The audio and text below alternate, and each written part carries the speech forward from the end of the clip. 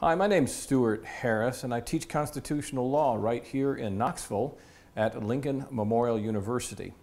It's a pleasure to be here, both because I love constitutional law and because I'm a board member here at Blount Mansion. What is Blount Mansion? Well, it's many things. It's, of course, the home of William Blount and his family, and he played a very important role in the establishment of the state of Tennessee. But did you know that he also played a role in the establishment of our nation? Let's talk a little bit about that. We're going to talk about government. If you were here in person, I'd ask you if you know what government is, but since we're not together in person, I'll just tell you. A government is a set of rules and people who enforce those rules that keeps order in a given place. You have rules in your classroom, don't you? Well, that's because your teacher establishes those rules, and that's how you're able to learn things instead of having people running around and pulling each other's hair all day. Well, similarly, a nation needs rules. It needs a government. And so, 11 years after we declared independence from Britain, it took us a while, we put together a document called the Constitution of the United States, which created our national government. And William Blount was one of 55 guys who went to Philadelphia in the summer of 1787 and put that document together. Now, a word about that. There were 55 guys 55 white guys who all owned property, just like William Blount. Does that seem fair to you? Not me either. No women, no people of color.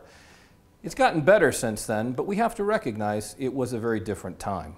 What did these 55 white men accomplish? Well, they created a government with three different branches to do the three things that governments do. One branch, called the Congress, makes the rules, laws. The second branch, the executive, well, the president enforces the rules. And finally, the third branch, the judiciary, the judges, well, they judge any disputes that come up pursuant to these rules. This is the first government in history, first of all, to be created in a written document, and secondly, to divide powers of government up this way, to make sure that no one person becomes too powerful. Indeed, in addition to our three different branches of government, we have 50 state governments. This is called a federal system, and it divides power up between all sorts of different people all across our nation. In fact, if you've been paying attention to this year's presidential election, you saw that our states are extremely important.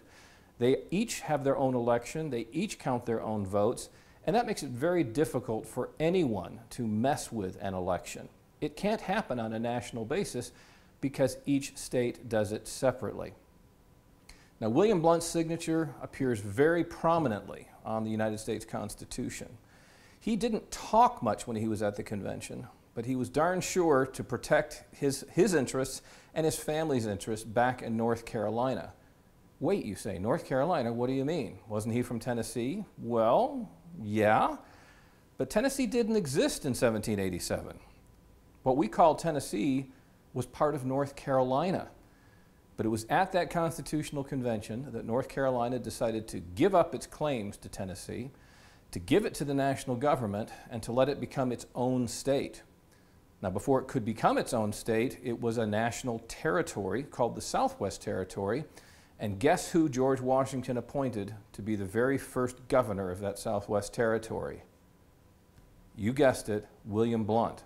So that's when he shifted from the national stage up in Philadelphia and came back to the state that he so loved and helped to create. So you see, William Blount was important not just here in Tennessee, but in the nation as a whole. And that's among the many things that makes Blount Mansion so important. Because of all the people who signed the Constitution, William Blount is the only one who has a home, Blount Mansion, which is not located in one of the original 13 states. Now, you know why.